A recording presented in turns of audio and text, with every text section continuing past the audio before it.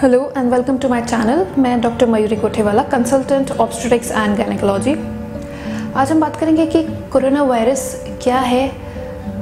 ये गर्भवती महिलाओं को कैसे अफेक्ट कर सकता है और इससे कैसे बचाया जाए?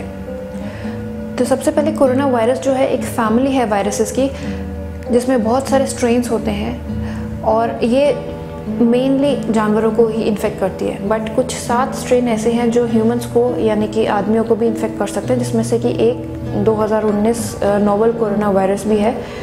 तो ये जब ये जो स्ट्रेन्स हैं जब ये ह्यूमंस को डायरेक्टली इन्फेक्ट करते हैं तो इनका सिम्टम्स uh, इतने ज़्यादा नहीं आते। नॉर्मल खांसी ज़ुकाम बुखार वाले सिम्टम्स ही रहते हैं। नॉर्मल फ्लू वाले सिम्टम्स ही रहते हैं। बट अगर हमें ये इन्फेक्शन जानवरों से मिलता है तो ये काफ़ी ज़्यादा सिवियर फॉर्म ले लेता है और बहुत सिवियरिटी के साथ प्रेजेंट करते हैं। जैसे कि 2003 में सार्स जो कि बैट से इन्फेक्शन हुआ था ट्रांसमिट आदमियों में और 2012 में जो मर्स था, वो कैमल्स से ह्यूमंस में ट्रांसमिट हुआ था।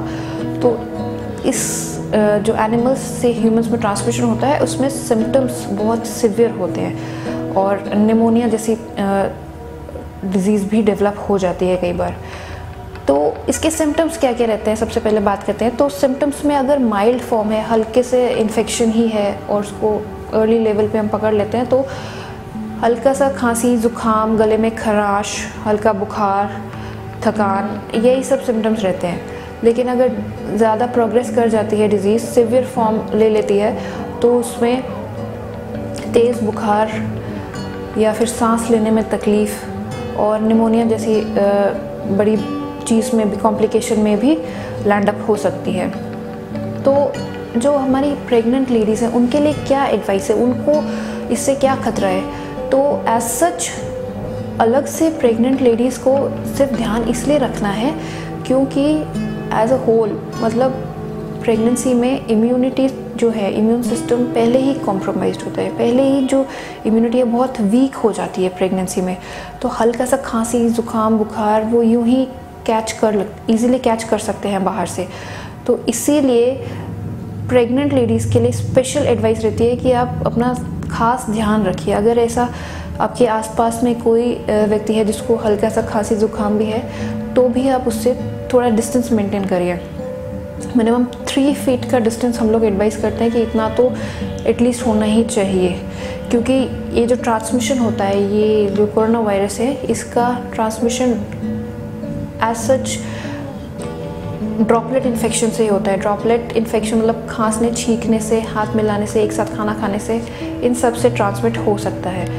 तो प्रेग्नेंट लेडीज़ के लिए स्पेशल एडवाइस यही है कि आप जितना हो सके दूर रहिए जो इन्फेक्टेड लोग हैं उनसे।